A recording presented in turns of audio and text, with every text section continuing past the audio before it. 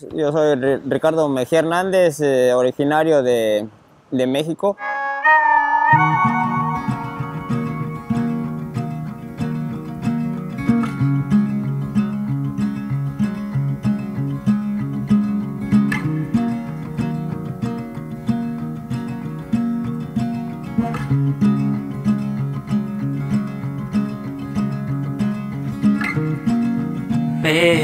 my eye.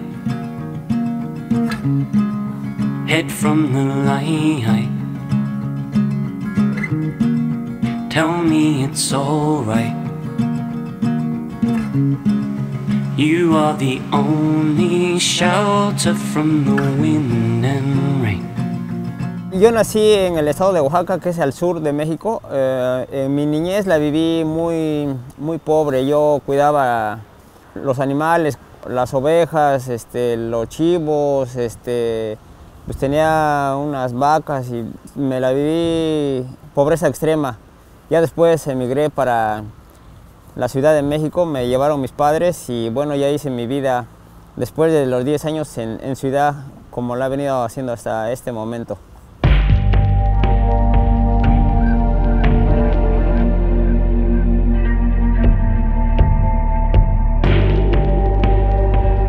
Tengo 35 años que yo inicié corriendo. Yo inicié por mi hermano, que fue la gran motivación de, hacia mí, de pequeño, que inicié a los 15, 17 años por ahí.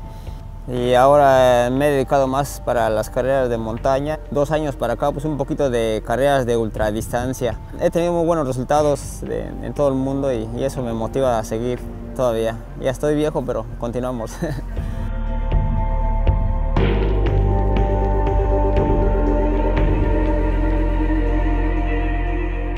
gente muy experimentada, experimentada me decía que yo tenía más facultades para correr en la montaña y ahí cambié mi, forma de correr, me dediqué más a la montaña.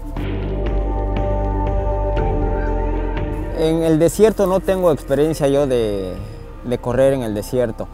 Mm, Va a ser mi primera experiencia el próximo año de correr en el maratón de sables. Me estoy preparando, estoy este, haciendo entrenamientos en ese tipo de, de terreno.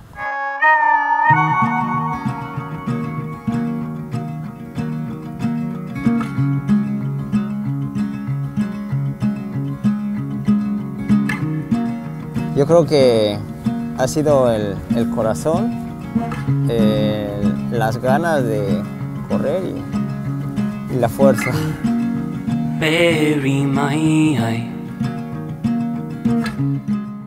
Yo soy muy creyente de, de la Virgen de, Guadalupe en, México, ¿no? que es la, la patrona de, México. Siempre pienso en la Virgen y durante la carrera en mi madre, que bueno, ha muerto mi madre, que siempre me apoyó desde pequeño, a mi familia, a mi esposa, y mis hijos que pues siempre es un orgullo para ellos tener un padre triunfador.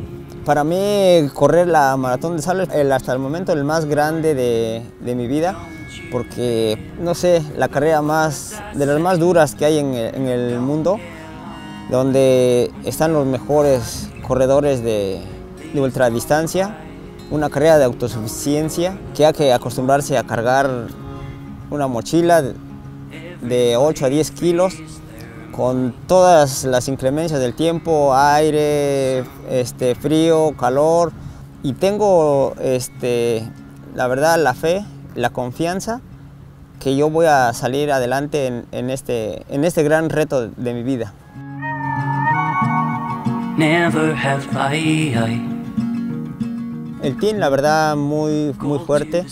Carlos A de Portugal es, tienen muchísima experiencia y bueno, no faltaba el gran lobo del desierto que es Marco Olmo, que es el que mayor experiencia tiene y afortunadamente he estado platicando con él, me ha dado muchos consejos, le agradezco mucho a Marco Olmo como compañero, como persona hacia mí, muy valiosa su, su opinión hacia mí, me está enseñando todo para poder correr el, gran maratón de sables.